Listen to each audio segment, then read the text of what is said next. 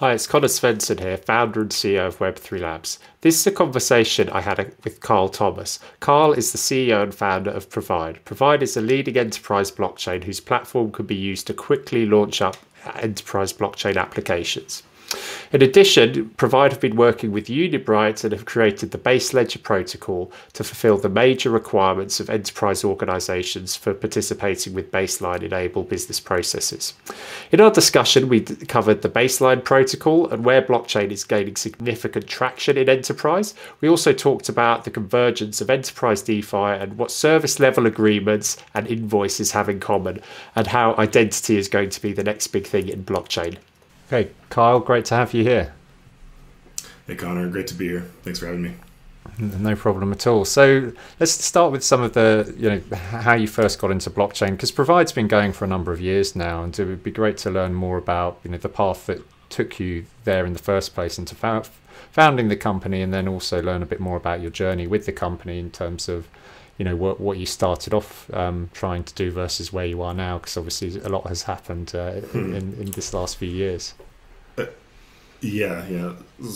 Certainly a, a, loaded loaded question. So Pro- provide got started actually back in 2014 um, as uh, an enterprise sort of an enterprise logistics company. We were really focused on um, uber sort of an uber for enterprise approach uh, and started off you know um, uh, outside of blockchain. Um, however, I, I, had had my eye on blockchain at that time, um, and we had a deal, um, sort of like an eight-figure deal, fall through, um, and I took a step back, and I, I was sort of like, hmm, maybe maybe uh, this isn't the right path for for the company.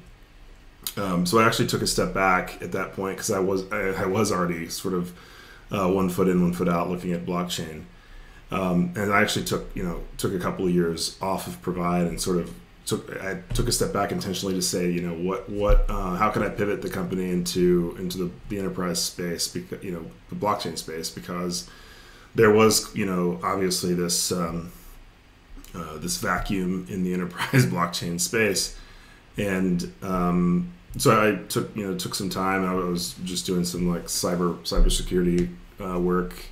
Um, you know during that time and, and really sort of refocusing on on blockchain. Um, and there was a vacuum for a reason in, in enterprise blockchain. It it, uh, it was a few years yet before uh, before we would we would get sort of to where we are now right? Uh, so I really started to provide back up in in uh, sort of the, the latter part the, the middle to latter part of 2017 mm-hmm. um, and that that was really when it got started as provide the provide that you know today. Yeah. Uh, that, that's focused on blockchain and and, uh, in the enterprise space. And um, uh, in late 2018, we uh, we co-organized or we organized rather uh, ETH Atlanta, uh, which was sort of what put us on the map. Um, we we soft launched Provide late that year, and that's what put us on the map in Atlanta. you know, with with with folks like Kona and, and really all of the all the large right. enterprises turned out for that event. So um, that's sort of how we got our start. Yeah, nice, nice.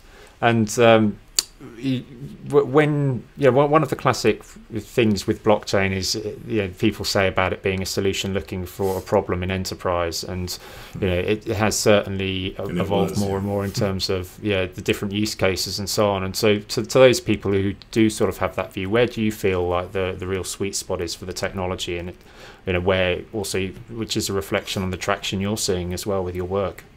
Yeah, it certainly was that for some time. It felt like um, from 2017 until uh, late 2019, there was you know we, we had we had built this um, you know this this sort of solution for developers. It really it really started out as like a, uh, uh, you know or the idea at least was to make something for developers uh, in the same in, you know, in the same way that, that Twilio had, had given developers SMS, you know, wanted to give developers blockchain, you know, very mm. uh, easy easy to use, um, you know, programmatic, you know, interface for for blockchain, and yeah. we succeeded at doing that. But it still, you know, at that point, it still felt like a you know a solution looking for a problem. Uh, mm. And then I think you know a lot of the a lot of that changed, and I, know we'll get get to this. I'm sure you know uh, with, with, baseline. Um, you know, I'd, I'd really uh, what I had seen like sort of you know uh, come the mid to latter part of 2019 was uh, the need to go sort of higher in the value chain mm-hmm. towards you know act, solving actual an actual problem versus only providing these tools for developers um, so they could go find a, pro- a, solution, you know, a solution for the problem. It was really we needed to find a solution. You know, we needed mm to find we yeah. needed to find it um, because it was so early, um, and so that's sort of where where the idea for Shuttle came. Uh, so Shuttle mm is, is a, a, you know a, a, product that we we've been sort of envisioning um, since you know mid mid 2019 uh, to yep. the latter part of 2019 and what we what shuttle originally was was um, uh, essentially like an orchestration tool and work group sort of work group management tool for organizations to uh, create the create sort of consortium like uh, uh, group work groups um, that you know where everyone in the work group uh, every organization that joined would get um, an IPFS instance and an EVM client instance deployed. Mm-hmm. Um, and really, what that what that solution was is it was for data sharing, right? It was like sort of that the early. It, it sort of it was baseline kind of before baseline, or maybe I guess baseline had started in, in privately in EY ConsenSys in Microsoft, but it was baseline yeah. before you know kind of before baseline became a public thing uh, and it really was around the use case of, of data sharing. Um, and to me, that's that's a really the compelling use case um, that's foundational for you know supply chain and, and you know all these other, other all these other use cases that, that are starting to crop up. Um, I think data sharing is sort of at the heart of it. Yeah, yeah, and and when you talk about data sharing, for those people who are kind of less well educated on you know why blockchain that does fit so well because of course there's various cloud type you know platforms that provide these sorts of capabilities between organizations but there's some unique properties that blockchain provides there of course. Oh yeah of course, um, and so and so and so for those people who are less familiar with that what would you kind of say are those those key things? Yeah so so really uh, the non-repudiation um, of, of claims being a, meaning uh, organizations being being able to uh, receive a message from others, and um, basically proof being uh, being you know able to, to prove that that you actually sent and someone actually received a message uh, or piece of data. Um, you know, I think that's not really um, present on a lot of like the Dropboxes or, the, or the, that sort of sort, sort of solutions. Um, the Amazon S3 is the you know you can you can't really you can't really guarantee that an audit log is is really an uh, an audit log in, on some of these solutions, and so the early you know the earliest uh, incarnation of what we had built at Provide uh, on top of our existing tooling, like th- that, that's what was cool about Provide as well is we we actually built on top of what we had built for developers. We actually built using sort of the Amazon the Amazon approach there. We sort of used yeah. used our own you know dog fooded our own our own platform, and, and the, so the tooling continued to mature as we as we built Shuttle on top of it in you know in late 2019. Uh, and yeah, I think that the uh, the strongest the strongest thing about all of it was uh, the non-repudiation of claims, but also doing so in a way that preserved the some level of privacy, like the degree of privacy that you wanted to keep. Like you could, um, you didn't have to share the entire you know the entire uh, the entire bit, the, the, entire binary data. You, you know, you could just share uh, uh, just some representation of it, like a hash or so, so, you know something something to that effect. That way, uh, you could you could distribute the, the actual data to only certain parties um, in in the work group. Uh, and again, that's very like baseline esque, I think, in, in sort of our our approach. Yeah. And, and with baseline, obviously you've mentioned it a, a few times already. And uh, you know, how, how did baseline slot into this? Because you said that the work you were doing earlier on with shuttle and you know IPFS and uh, um, ha- having the EVM in there, there's you know, it was kind of like so well aligned with this, and so when baseline came along, there was just like this really good synergy for you, right? Yeah, it, it was it was uh, it, was funny because I so I had been I'd had a few conversations with with John Wolpert, uh, I guess in mid 2019 or toward you know uh, towards towards the the latter part of 2019 and uh, I, show, I had shown him shuttle and he was like oh yeah you gotta be you know you gotta be a part of baseline.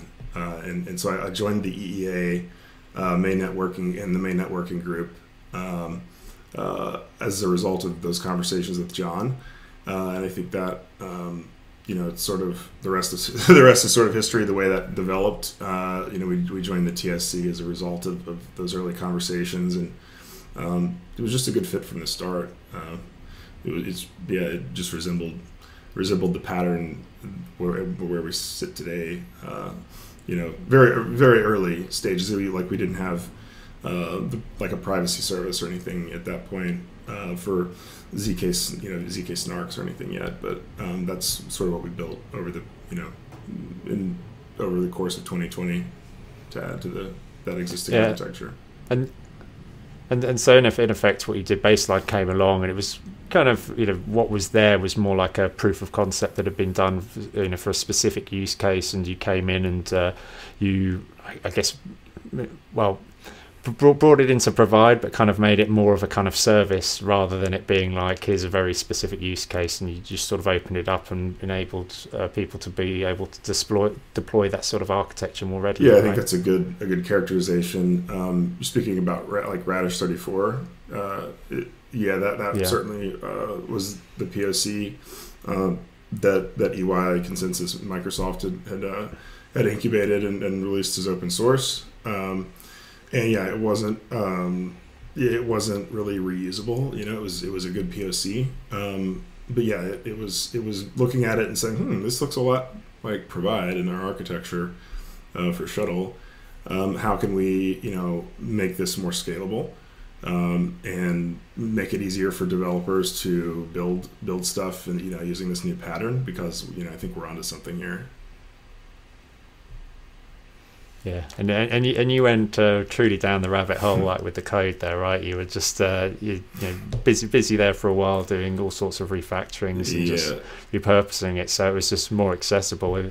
You kind of have you been able to step away a little bit, or is it still uh, you know you're still finding yourself getting pulled so in? we do, I would say it's we we deprecated the Radish34 bits. Um, you know, just we learned a lot from it. Certainly, um, we we yeah, we yeah. created a new service, a new privacy service to add to the stack, uh, and we added like Kubernetes support and um, you know hardened hardened the existing stack a bit, but then then really um, really made use of some of those existing components like like NATS and, and our contributions to the to the NATS ecosystem, uh, and those those bits are still there today.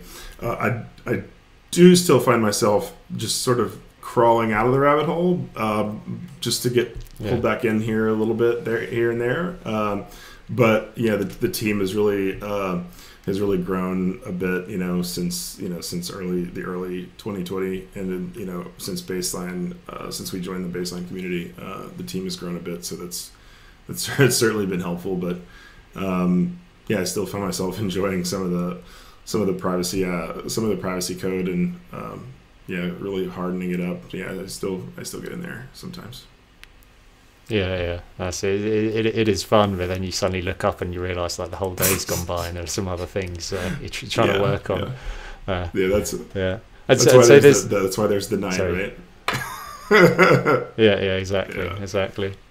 Yeah, and and I mean baseline itself, like you know, of course, it was uh, early early on. It was a collaboration with EY ConsenSys, and Microsoft. You know, um, Provide got very involved, but then there's a number of other organisations that you're working with as well. Um, you know, on on this stuff too. Obviously, yeah, Unibright, Nethermind, and some mm. others there. Um, certainly, Unibright's like uh, you've got a very close relationship with the team there, and um, you know, how, how, do they kind of fit into yes, all this? So that was one thing that um, that I was very pleasantly surprised to find. Uh, you know, when we joined the EEA and, and also the baseline community was, um, yeah, what was Unibright and, and just how because uh, they're really focused. They you know they have decades of experience on the enterprise integration side. Mm. Um, namely with you know with SAP yeah. and, and that you know that pattern you know if you if you have a really strong integrator um, you know the pattern for SAP integration will will take you far um, you know when you talk about the context of other uh, of other traditional systems of record like Dynamics and you know others, you know even all the way to like Excel. Like you're, when you the difference between an SAP and an Excel integration is quite quite large. Um, but but like the SAP on the SAP side, you know it's it's much uh, it's much needed to have that that sort of trusted partner and. Uh, because of their decades long experience in that space uh, and also their their vision their shared vision for like low code or you know even no code on uh, enterprise blockchain integration um, it, it, was very well aligned and, and um, you know they had this uh, this token like they, they were actually uh, an issuer of you know a UB, the issuer of UBT which which really um, uh, and, and they, they did it in the right way. Like they're they're a team that, that stood behind what they had, had done with UBT and the, and the, they stood behind you know their decision there and then the community, uh, and they wanted to do something you know much bigger with with UBT. Um, and so it was it was a great synergy and opportunity there. Um, you know, one on the on the enterprise integration side, um, and two on the UBT side. So um, you know, we sort of uh, we, we, sort of acquired a, a, bit of their of the Unibright technology stack um, in in late 2020 mm-hmm. we, we announced that partnership. You know, Provide and Unibright sort of became um, you know this one uh, one message and one one sort of uh, commercial focus on, when it comes to the, the blockchain and the, baselining side, um, uh, and, and, that's that's seems to have been the right move. Um, yeah, we're, we're, we're doing well with Unibright and, and uh, yeah, great to see the, the community work together uh, in, in such ways. Uh, it's kind of magical. Yeah. And the the Baseledger technologies is that something that you're working on with Unibright, or is that yeah, it's it's, a, it's absolutely something that we're working on together uh, with them. Yeah, uh, so so base ledger is um, yeah this this new this new network um, that folks are getting sort of getting behind. Uh, it seems like. Um, and the idea for Baseledger uh, was to create this sort of uh, layer one, layer two uh, interoperability uh, for you know for in the context of baseline, um, and also while also adding um, UBT as a, uh, a, sort of a gas token for you know this network. Um, yeah, so so we're working very closely with Unibright to um, launch the initial test net uh, for for Baseledger. Uh, I think it looks a lot like the Provide stack, to be honest. Um, I think it looks a lot like the Provide stack with a Tendermint consensus sort of underneath it, uh, which means. Um, sort of translated, you know, it's a really good opportunity for Provide to open source um, sort of the core, some of the core bits of the stack at this point. Um, with with the base mm-hmm. ledger testnet release uh, here pretty soon. So I, we're looking at um, open sourcing the ident nchain uh, uh, vault and privacy services um, alongside this uh, this release. So it's pretty exciting. So how, how does Baseledger kind of fit fit in with with baseline? You said about connecting layer one and layer two. Of course, with layer one would be like a public Ethereum network, and you know, um, baseline provides you know, an integration, as you said earlier, for like system of records between different organizations where they they use the Ethereum network as that kind of source of truth for uh, information that's being exchanged, albeit in a secure uh, way, so that the you know specifics of what's being exchanged aren't you know publicly uh, visible to anyone you know looking at the the Ethereum network. Mm-hmm. Yeah. So if you look at the the way the provide stack is used by by our or, you know early adopters. Um, it sort of sits at, at the edge, um, like really close to the ERP system. Um, yeah. Like it runs on the same network, for example. Uh, and so, to that extent, it's already this distributed system where you've got um, you where provide does run like you know its its own uh, um, its own hosted environment, um, but then every organization also runs their own hosted environment. Um, and so, so, you know, for example, CONA provides in their own fully standalone hosted environment for the bottlers. Mm-hmm and so each bottler yeah. then connects to that environment. Um, and so if you think about it, if you think about it like this, um, uh, and, all and all those bottlers also share an SAP system also provided by CONA. So the provide stack sits very close to the edge if you consider each organization the edge of the network, and um, to that extent, uh, you know, the you know the, the base Baseledger. It, there's a lot of there's a lot of privacy like there's a lot of proofs that are generated in in a, in a baseline workflow. Mm-hmm. Uh, each each workflow has work steps. Each work step can generate you know, you know a proof, and in many cases more than one, depending on yeah. um, the organizations as they as they're proposing new states for the network. Um, all of these proofs can be written to Baseledger uh, because you don't want to write all of these proofs to the Ethereum mainnet because it's you know that yeah. would just that would add you know to add to the, the, to the cost and, and complexity and the and clog the network up even further, uh, etc. And so you can write these proofs to Baseledger. And so as a workflow as a workflow reaches finality or exits, um, like when you like when you let's say you have a five step workflow like procure to pay workflow, um, you know you have a, a PO an SO, a shipment notification, goods receipt and an invoice. That invoice sort of uh, that is the exit, right? When that invoice is cut, like the, the workflow is over, yeah. And you can have many, you know, tens or tens or hundreds of thousands of these, um, you know, in a year. Uh, you know, if you're if you're a large organization. Um, and so each one of those workflows, when it exits, um, we can then take the result. Uh, each one of those proofs, of course, have, having been being written, having been written to by way of provide privacy to Baseledger.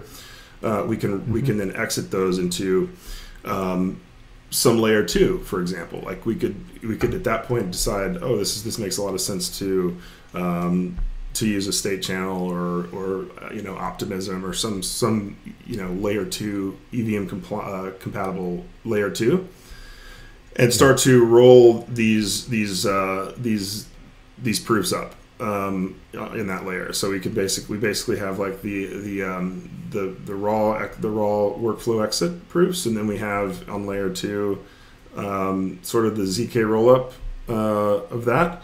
And then once once that zk rollup reaches a certain volume uh, or time limit, time limit, call it a million dollars or um, you know, 15 days or a month, whatever. We can we yeah. can then exit from that layer two onto layer one. So then, so we have a zk. So we have on Baseledger just the, the proof, the proofs, all of them. Um, the zk rollup proofs on layer two, and then the zk zk rollup proofs uh, go to layer one. So um, that's sort of how Baseledger facilitates and, and fit, you know fits into the I think the whole the whole process. Hopefully that made sense. Yeah, yeah, yeah. So in in effect, it's um, you know it, it provides a mechanism for people to more rapidly, of course, you know, exchange information, but also make additional information available to other participants on the network that you wouldn't necessarily want to share with um, the, the the the whole of uh, the Ethereum network. Uh, yeah, and it's not that it's not that the, it's the data that you wouldn't want to share. Um, it's it's the you know it's just that you wouldn't want to write that data to the Ethereum network. Yeah. Um, like it's it's basically uh, it's maybe this is a bit of a dirty word, but it's a public permission chain that uses UBT for gas. Uh, and it, it just is it, it, operates just the way that provide stack does today except it writes all the data that gets written by provide by our privacy service um, and shared with the participants on the, uh, you know in the work groups um, and that are privy to that data, privy to the off-chain and on-chain data in you know in workflows in those work groups. Um, all that data, those proofs rather, um, get written to this public permission chain. Um, yep. That's that's uh, that's underpinned by Tendermint yeah. consensus. I guess that's another a key property generally of um, baseline uh, is, is, that fact that it's always proofs that are being written to the change rather than you know the actual uh, raw, raw, data itself, which um, satisfies those needs of enterprise. Right, yeah. and it's not just and it's not hashes either. You know, a, that is a good point. It's not and it's not just the hashes either. It's the it's actual it's actual proofs, um, which is is also I think a key key differentiator uh, between that and um, sort of the sort of the, the proof of existence that we started out. So shuttle started out as like sort of turnkey proof of existence um, back in 2019, and it turned into turnkey, uh, you know, yeah, pr- proof, yeah, zk zk snarks, turnkey Z, turnkey zk snarks at the end at this point.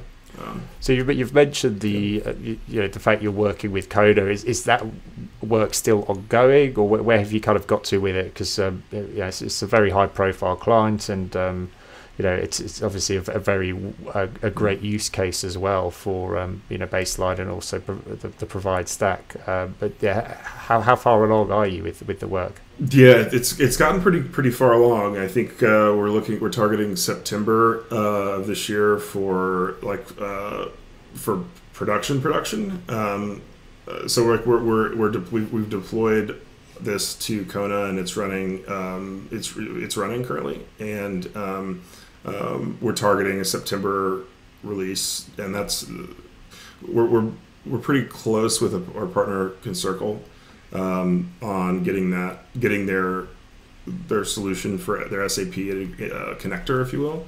Um, and this was also by way of the Unibright SAP connector. Um, getting that solution certified, um, and what that is is, is a uh, something that we've developed with them um, specifically for uh, automating the configuration of multi-tenant SAP environments uh, for baselining.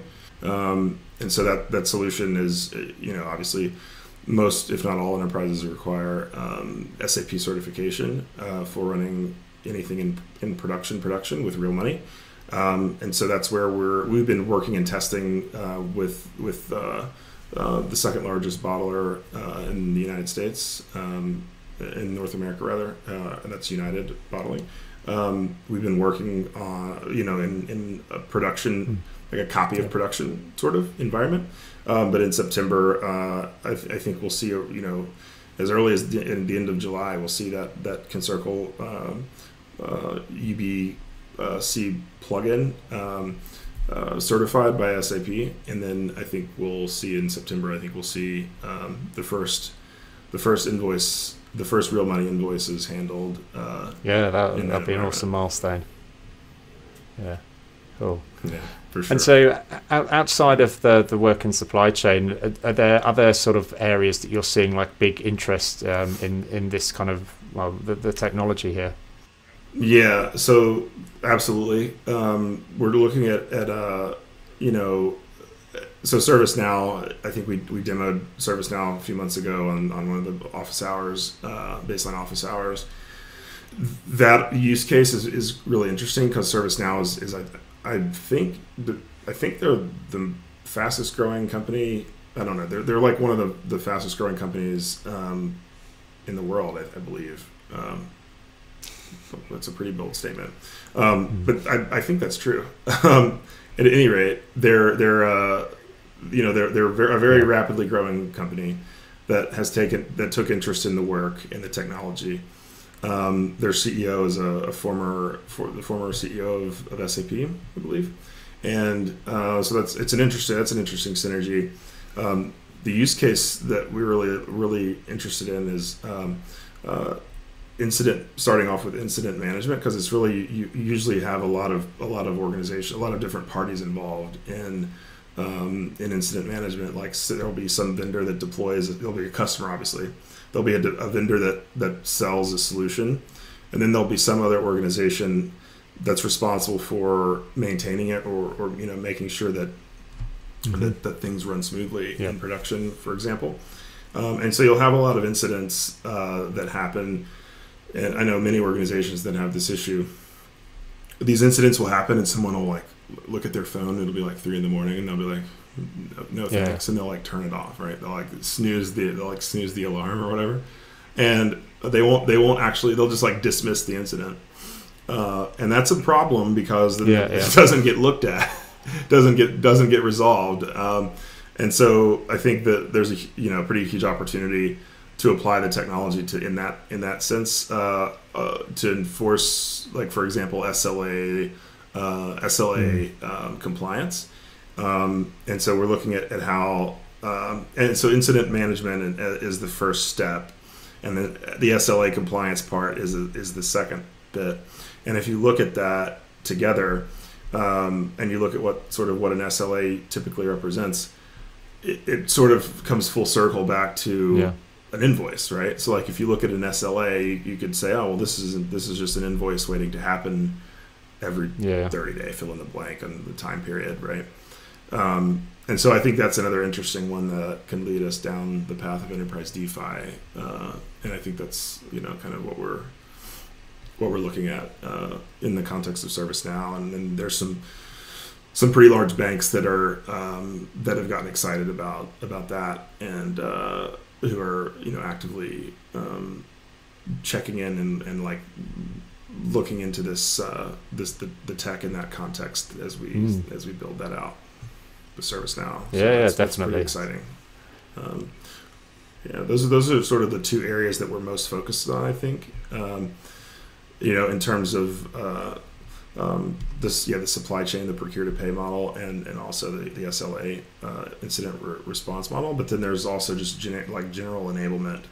Um, you know, other organizations um, that are you know that are large that want to that want to get into this space. All you know, they want to they want they the, the, the tool the market for tooling is still very much a real Mm. a real part of it Yeah, too. yeah.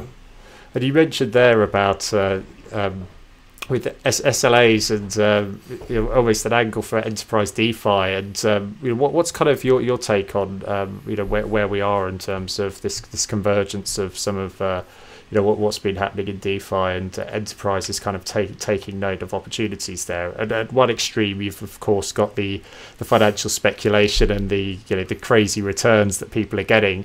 Uh, but then you've also seen things like, you know, Hmm. Aave, one of the leading um, uh, DeFi lenders, are actually opening up their, their lending pools to uh, enterprises with KYC and so on. And so, of course, when we're talk, coming at it from um, you know, th- things like you know, technologies like ServiceNow and you know supply chain and systems of record, it is a different sort of angle there, and there are different types of use case. But at the same time, like you know, what's kind of your take on you know how how there's you know the opportunities for convergence with you know some of the DeFi stuff and uh, what you're seeing in enterprise?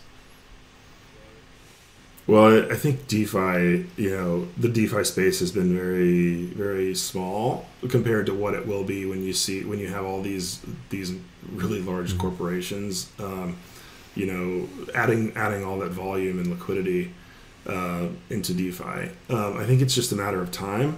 Um, you know, I- there there's going to be some you know some success stories that that are measured that come that, that are reported on that um, you know that really I think tip the you know tip the scales if you will or like you know t- tip the balance of of uh, uh, of like the risk Mhm. appetites I guess in the in the enterprise space to be like okay this isn't this isn't some like uh, some Ponzi Yeah. scheme you know like the like not to say that not to class categorize DeFi as a whole as that already but you know that's that's there's perceptions right um, and there's there's uh, people people don't want to lose their jobs so they, they just stay play it safe but once there's um, you know once there's some some tried and true uh, measured results I mean they're gonna jump in uh, because it's it's it makes a lot of sense right? I, I- I think there's um, you can look at this opportunity um, you know sort of as like a, a, a turning point in uh, in this you know in the whole in the world really for like financial inclusivity. Um, you know I think that and I think a rising tide sort of uh, raises all all boats in that sense because you know what what I think is um, these organizations uh, and, and the opportunities, especially in like the procure to pay side, is for you know providing you know instant payment for invoices, and you know I think that that, that creates a, a better quality of life for a lot of people uh, and even the smaller players. Most importantly, the smaller players um, in you know in, in supply chains. Um, so like you know the, the, the very small you know raw materials provider uh, you know can get paid a lot faster. Um, and so that you know there's a like you could they can they can make sure their their families have food on the table um, instead of waiting waiting for waiting to get paid. Um, you know and it's it seems like I mean that that's a really really uh, like really great opportunity and, and uh, byproduct of what this movement I think will will sort of result in um, you know in, in the sense of um, bringing bringing like much greater financial inclusivity uh, you know, to, to the, even the smaller players. Yeah, it's a, it's, it's, a, it's a huge point that as well, just that that general inclusivity, but also as you say, like if you if you could almost uh, the, the whole you know invoice finance and factoring process, if you could actually take advantage of some of the innovations in DeFi and start to um, you know um, pr- provide it in, in those contexts, then that's going to help so many people and companies. It's, you know, so as you know, you must have found too, like especially when the company was smaller, you, you live and die a bit on you know some of your invoice terms, and if someone's going to you know they're not going to pay you when they say they are, that can be a real problem for making payroll and these sorts of things. So it's uh, yeah, it touches so exactly, many people. Yeah. yeah. It does, yeah. So, and we're you know we've been working on um, sort of a baseline work work group or work you know workflows um, where provide is is privy to these work you know to these workflows uh, and in for example CONA uh, and really like even in, in, the SLA when it's generalized we, we've been able to generalize that to the you know to for use there too and what what that that workflow what these workflows are is essentially uh, the the proof of the of the invoice um, and and but not the the full invoice data. So while protecting like the company's data and the, the company's invoice data, um, and we, we can essentially using provide payments, which is another one of our, our properties that we we've had this vision for for some mm number of years. Um, you know, really uh, uh, pass through uh, in the in terms of use, the user experience, pass through um, to to some third party financial facility um, for to provide credit decisions on the buyers, and then essentially baseline the credit decision, and then for all the invoices that come out of that process, uh, for example, like a bottler has it gets a credit decision. Um, the proof of that decision alongside all the invoices that the suppliers opt into having paid immediately all of those invoices can ha- be proven um, against the credit decision and um, we can essentially provide a stream of those invoices to DeFi uh, without actually sharing the, the raw invoice data. Um, so that means we can scale the DeFi the DeFi offering that we that we want really want to enable. We're actually enabling it, right? We don't want to um, provide the financing or anything like that. Um, we, we just want to enable the tokenization so that some other party or parties can mm-hmm. provide the financing. Um, and so there's you know a number of great conversations that we're having um, and we have some liquidity that's been offered um, to actually to actually buy the buy those invo- that invoice stream. Um, so I think you know this year we'll see real money invoices um, be financed in DeFi, uh, which is which is. Yeah, yeah. It's a good, really really good progress because I think that's that's what's going to be needed for um, you know like there's going to need to be that story and the, the, the measured results that come from that. I think uh, in order to um, enable the broader ecosystem and sort of quell any um, you know any any fears about about jumping in for for for C, C, CFOs uh, to really wrap their hands and, and, heads around how this works. Yeah, yeah, that's that's, that's definitely a huge one. And um, going back onto the workflow topic, uh, um, you, you've you've also uh, got a, a low code um, component to the platform as well. And I know previously when you spoke about it, it was um, it was due for launch. Has it has it launched now, or are you still working on it?